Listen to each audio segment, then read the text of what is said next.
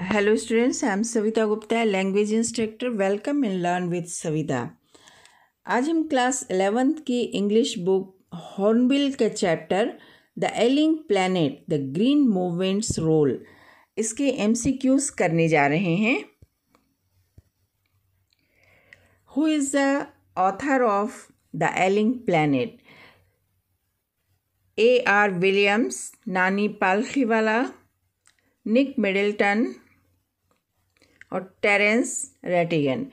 तो ये जो चैप्टर है, द एलिंग प्लैनेट, इसके ऑथर कौन है? The correct answer is Nani Palkhivala what was the issue raised by the author in the chapter the ailing planet global warming save water deteriorating health of the earth save money तो इस chapter में the ailing planet में किस समस्या को लेकर के बात की गई है? The correct answer is deteriorating health of the earth पृथ्वी के बिगड़ते हुए स्वास्थ्य के बारे में। When did the green movement help environmentalist to raise awareness about the harmful condition of earth. 1992 1987 1972 1970 तो जो पर्यावरण विद हैं, इनकी when did the green movement help जो पर्यावरण विद विद जो थे, उनको इस ग्रीन मूवमेंट ने कब अवेयर करना, जागरूक करना शुरू किया पृथ्वी के गिरते हुए स्वास्थ्य के बारे में। आप पृथ्वी की बिगड़ती हुई दशा के बारे में। And the correct answer is 1972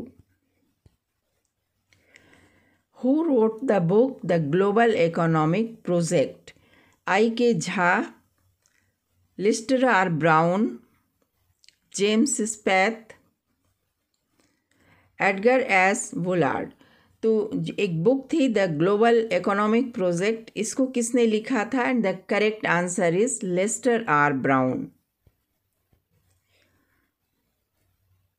What forms the foundation the foundation of the global economic system according to the Lester R Brown. Land and water, fisheries and grassland fisheries, forests, grassland and croplands.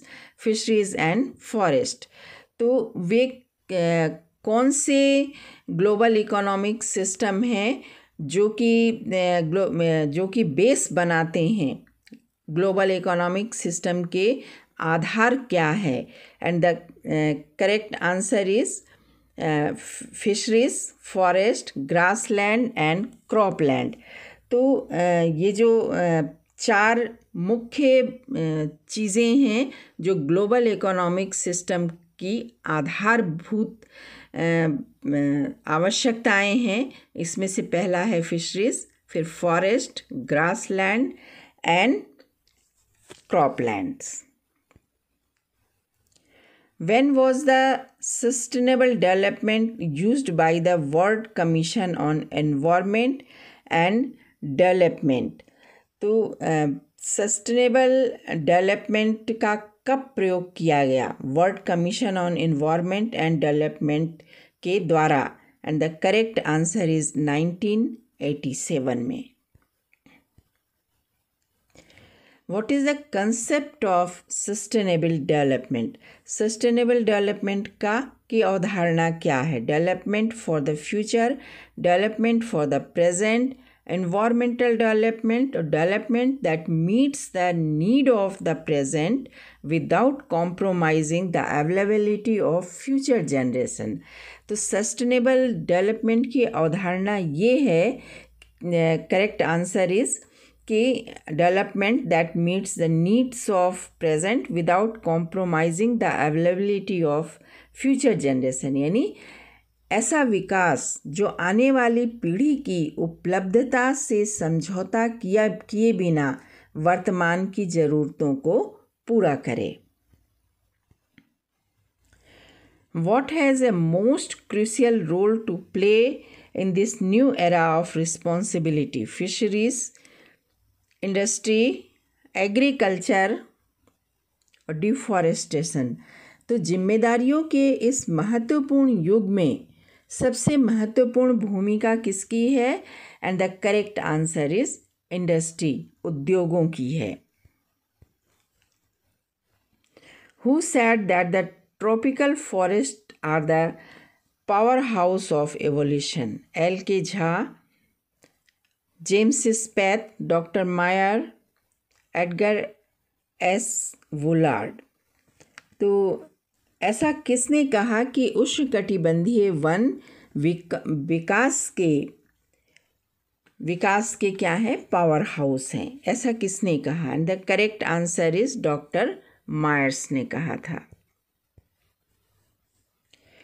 Where was the first national wide green party founded USA Australia Canada New Zealand प्रथम राष्ट्रव्यापी green party की स्थापना कहाँ की गई? And the correct answer is New Zealand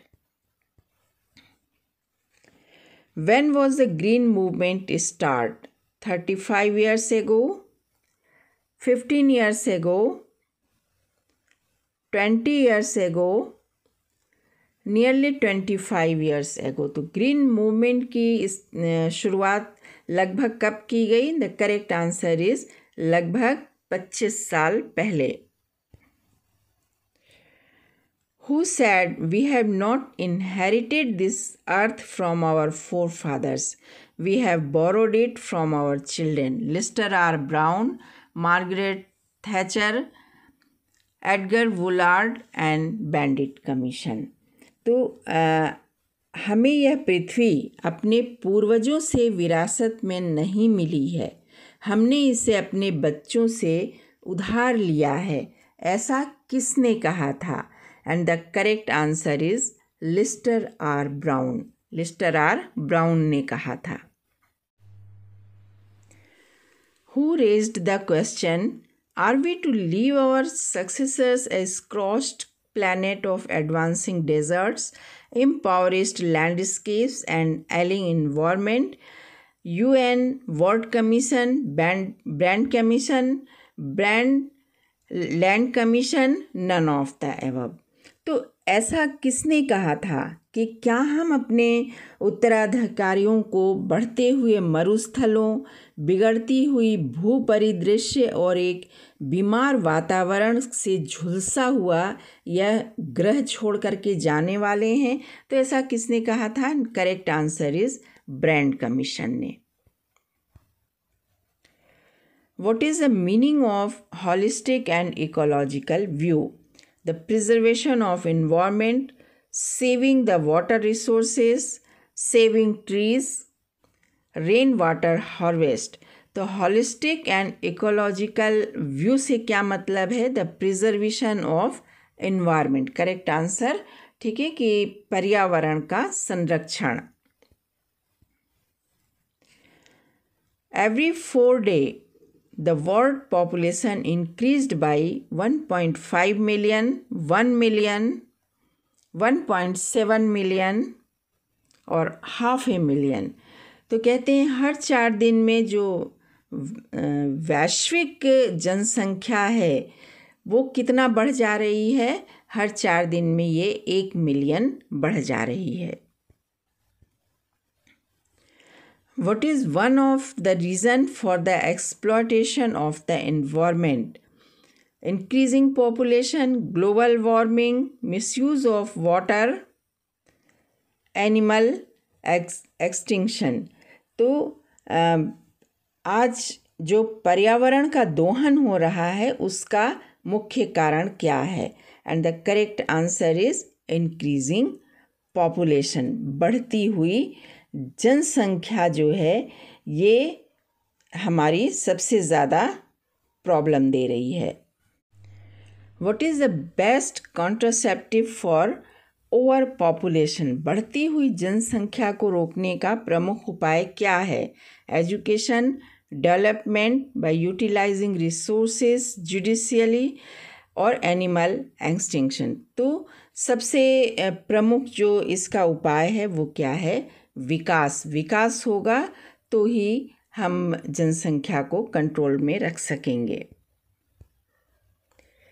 What did the sign board in the zoo of Alaska read white tiger the biggest animal the world's most dangerous animal warning तो Alaska के zoo में एक sign board लगा था, उसमें क्या लिखा हुआ था? And the correct answer is the world's most dangerous animal विश्व का सबसे खतरनाक जानवर। At what rate are the forest in India depleting at the rate of 3.7 million acres year at the rate of 36.7 million year at the rate of thirteen point seven million acre a year, none of the above. तो भारत में जो one है, वो किस दर से नष्ट हो रहे हैं? And the correct answer is 3.7 million acre a year what is the transcending concern the survival of the forest the survival of the planet global warming, to save water. तो ट्रांसेंड ट्रांसेंडिंग कंसर्न क्या है the survival of the planet the correct answer is the survival of the planet what is leading to deforestation at an alarming rate sale of vegetables sale of fuel wood sell for furniture sell for building house तो किस कारण से जो वनों की कटाई है, ये ख़तरनाक दर से हो रही है? The correct answer is sale of fuel oil fuel wood जलावन की लकड़ी के लिए खाना बनाने के लिए, लकड़ी को जला करके यूज़ करने के लिए वनों को इतनी तेज़ी से काटा जा रहा है। Happens to the forest in poor countries they are cut down for furniture they are cut down for fuel wood they grieve into a large number not like so तो गरीब देशों में जंगलों के साथ क्या होता है? The correct answer is they are cut down for fuel wood जलावन के लिए उन्हें पेड़ों को काट दिया जाता है।